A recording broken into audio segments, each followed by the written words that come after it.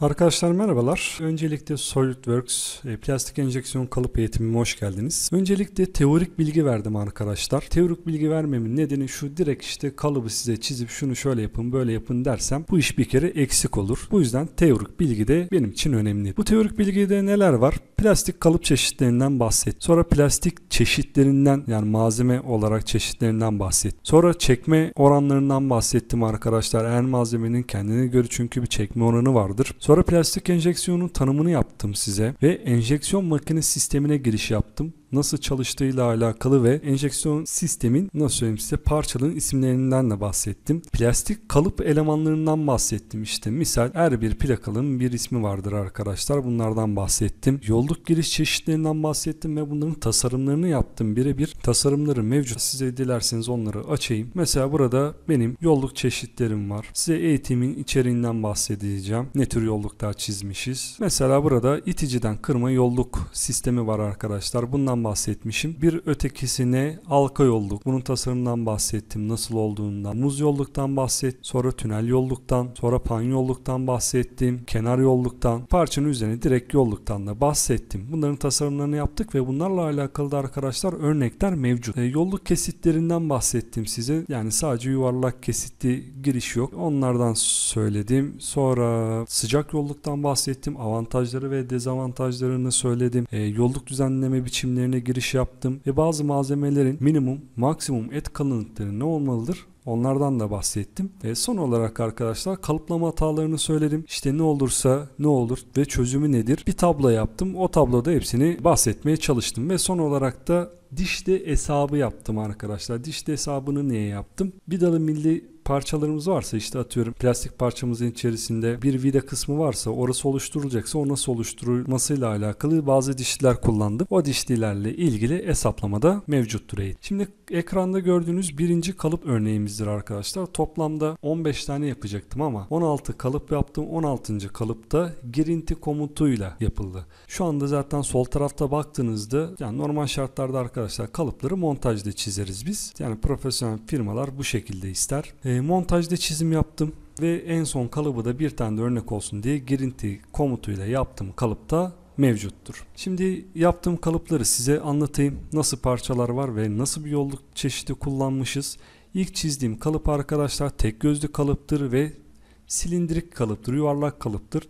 Şöyle itici kısmını bir gizlersem parçamız şu şekilde bir parça arkadaşlar. Bir kapak düşünün. Ve buna tek bir ürüne yani parçaya çift girişli tasarımdan başladık arkadaşlar. Enjeksiyon kısmı da bu şekilde itici grubunu da göstermek istersek şöyle baktığımda e, bir de bu normal iticilidir sıyırıcı plakalı değil bilginiz olsun. Tabi onlarla alakalı da çizimlerimiz mevcuttur merak etmeyin. Şimdi ikinci örneğimize gelelim. Daha fazla zaman kaybetmeden.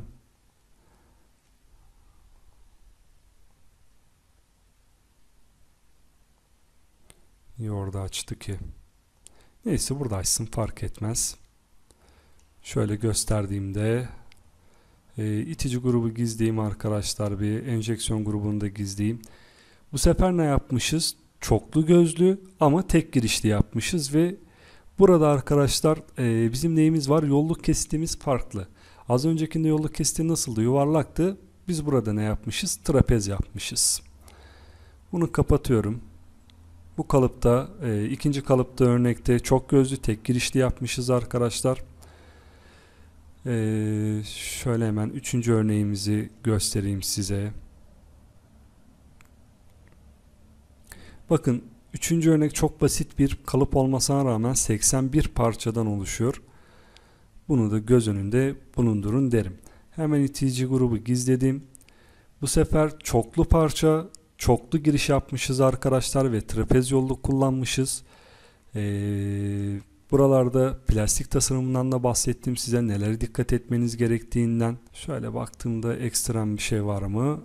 Yok. Ama her zaman temelden ileriye seviyeye gitmeye özen gösterdim ki ilk kalıbımızı gördüğünüz yuvarlak kalıptı. En basit kalıp çeşidiydi arkadaşlar ve gitgide bir tık zorlaştırmışız. Çarpıdan kaydetme diyorum. Hemen dördüncü örneğimize bir bakalım. Bu arada buradaki tasarımların hepsine ulaşabiliyorsunuz. Bilginiz olsun. Bakın 170 parçadan oluşuyor arkadaşlar bu kalıpta.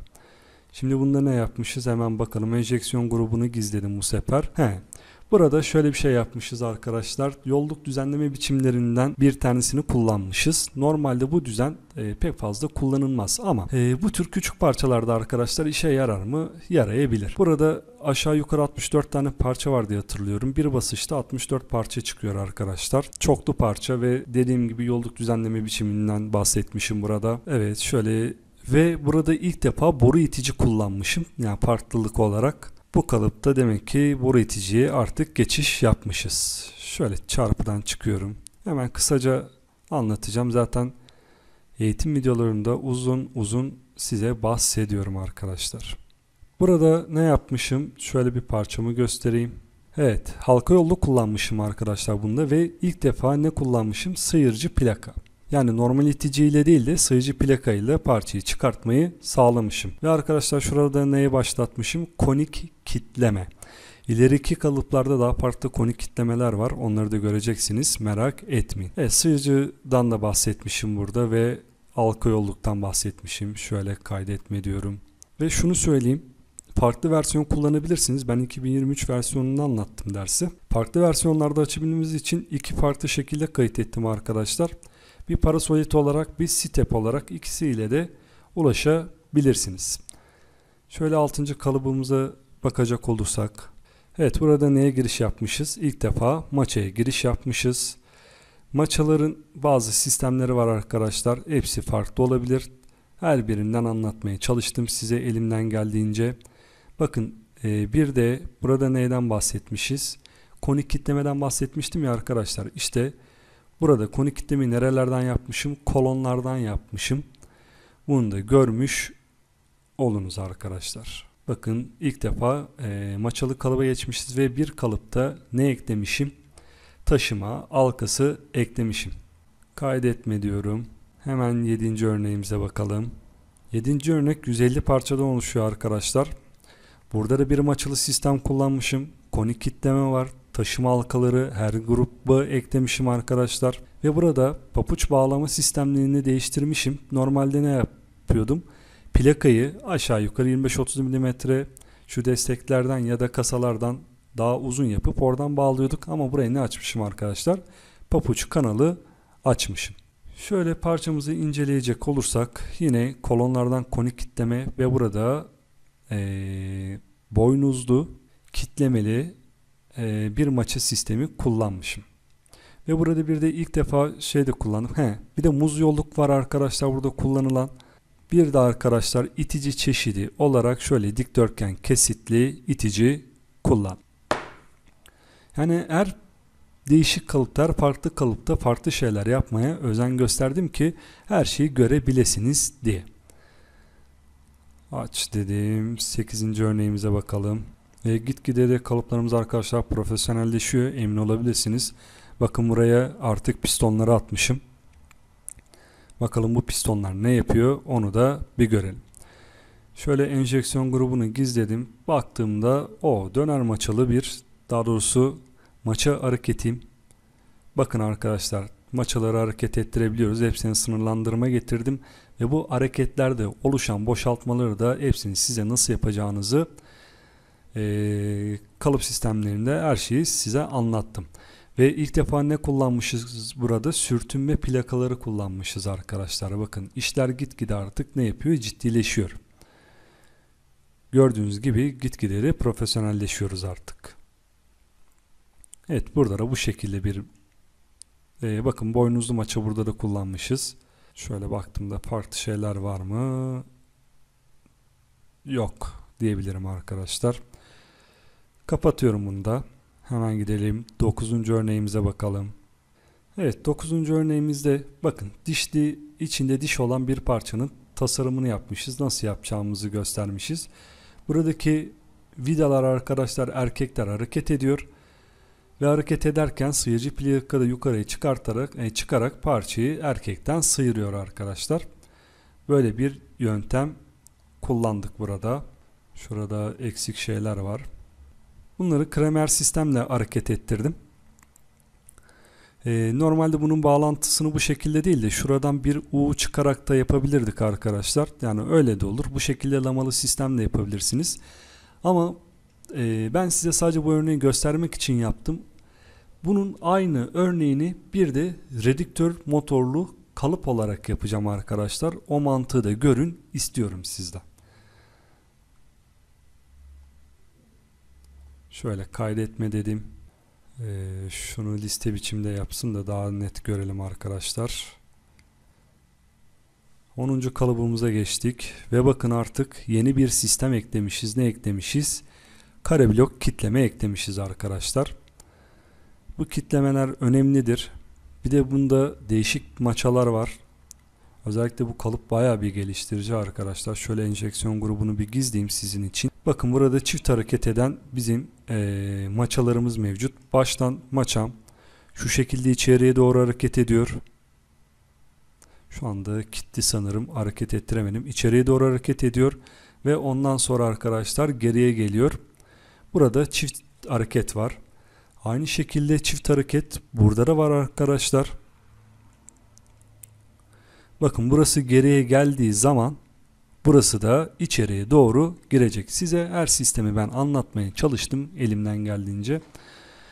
Bir de dilimin döndüğünce arkadaşlar. Birincisi burada maça sistemleri çok farklı onu söyleyeyim. Dediğim gibi ikincisi kare blok kitlemeler eklemişim. Bunlar değişiktir. Bir de arkadaşlar iticilerimiz. Bakın iticiler normal silindir itici de var. Ve jiggle e, maçalı sistemde kullanmışız burada. Bu da arkadaşlar açılı bizim maçamızdır. Şuradaki hareket sistemini falan her şeyini verdik ve uygulamış olduk. Şunlar da jiggle maçadır. Jiggle maçını ben size anlattım arkadaşlar derste uzun uzun. O yüzden burada çok fazla detaya girmiyorum. Ama yani bu kalıp sizin geliştirmek için müthiş bir kalıp diyebilirim. Kaydetme dedim. Ve gördüğünüz gibi en basitten en zora doğru gittik arkadaşlar. Mümkün olduğunca. Evet 11. kalıbımıza baktığımızda bakın burada da devreye neler girmiş. Pistonlar girmiş. Bu da çok mükemmel bir kalıptır. Bunda da hem açılı maçalarımız var, erkeklerimiz var arkadaşlar bakın. Bu sefer devreye neler girmiş. itici plakaları, stoplayıcı takozlar girmiş arkadaşlar ve ilk defa ne yapmışız? İtici plakaları kolonlamışız arkadaşlar. Bakın bunlar da önemlidir. Burada e, sığıcı plakada kullanılıyor. Şöyle göstereyim size. Küre şeklinde arkadaşlar bir saksı düşünün. Bu parçayı da gizledim ve burada benim nelerim var? Erkeklerim mevcut. Bunların hepsini arkadaşlar hareketlerini falan ben merdirdim. Derste görebilirsiniz nasıl hareket ediyor gibisinden. Yani şu anda burada kalıbı bozmayacağım. Evet. Bu kalıp da bu şekilde ama bu da çok profesyonel bir kalıptır. Muhakkak her bir dersini dikkatlice izlemenizi tavsiye ederim size. Şöyle çarpıdan çıkayım. Ve yolluk flanşı eklemişiz arkadaşlar bakın. Yolluk burcu flanşı pardon. 12. kalıbıma geldim.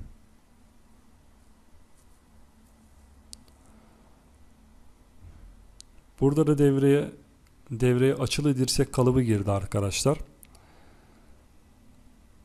Ee, burada da yeni bir maça sistemi kullandım. Collasible maça sistemi. Ondan bahsedeceğim şimdi size. Şöyle enjeksiyon grubunu gizlersek bakın parçamız şu. Şöyle bir açılı dirseği nasıl üretiriz gibisinden düşündük ve şuranın da içi, içi kanal olduğu için bu kanalı nasıl üreteceğimizi anlatmak için arkadaşlar size neyden bahsettim? Collasible maçadan bahsettim. Ve burada kolonlardan kitlemeleri değil de artık kitlemeleri nereden vermişim? Çeliklerden vermişim arkadaşlar. Ve burada 3 hareket bulunan bir maça sistemi yaptım. Baştan şuradaki maça gereği çıkıyor. Ondan sonra açılı maça bunu şu açıdan kurtarmak için şurayı erkeği kurtarmak için yana çekiyor. Sonra şuradaki maçamız geriye geliyor. Yani bu da enteresan bir kalıptır arkadaşlar. Burada ilk önce Collasible maça kurtuluyor. Ondan sonra ne yapıyor? Bu maçayı komple dışarıya çekiyor. Bu da güzel bir kalıptır. İzlemenizi tavsiye ederim. Ve denge çeliklerinden bahsettim burada. İlk defa ne koymuşuz arkadaşlar? Bakın rekorlar eklemişiz. Çeliğe. Evet. Bu kalıbımız da bu şekilde. 13. kalıbımıza bakalım. Enjeksiyon grubunu gizleyecek olursak arkadaşlar. Burada e, şunu bahsettim.